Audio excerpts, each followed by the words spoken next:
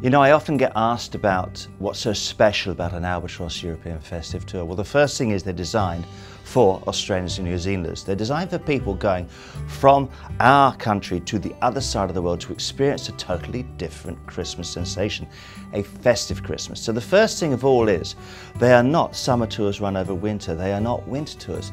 They are festive Christmas and New Year tours.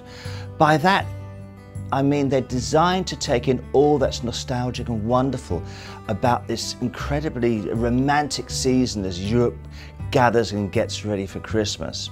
To do this, we make sure you have time. Our tours generally commence in the major cities where you enjoy the heritage and the culture and then we escape to the mountain, to the snow-covered monasteries, to the forested pathways, to stay in wonderful hotels we choose for their location and their style.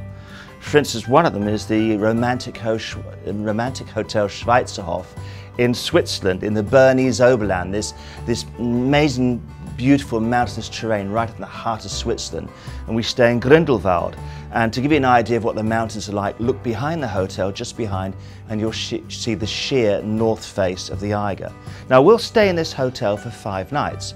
And from there we have a whole series of included with Albatross always included excursions to the local sites from Lucerne and Bern and you also have a chance and opportunity of time to go up the mountains in cable cars. There's snowbound sleigh rides, there's mulled wine and the food of course not only here but everywhere is just terrific.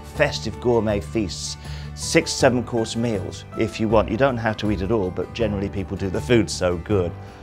So it's about that whole Christmas nostalgia, about visiting the Christmas markets at the right time. Because we have time, we make sure we visit them at dusk when the lights are twinkling, when the school kids are coming out and playing around, the brass bands are out. It's about timing it right, having the time to do it, about doing it properly, staying in the right places and staying in the right hotels. Now with well over 20 years experience handling thousands, literally thousands of Australians with hundreds coming back every year. We must be doing something right. That's what's different about an Albatross tour.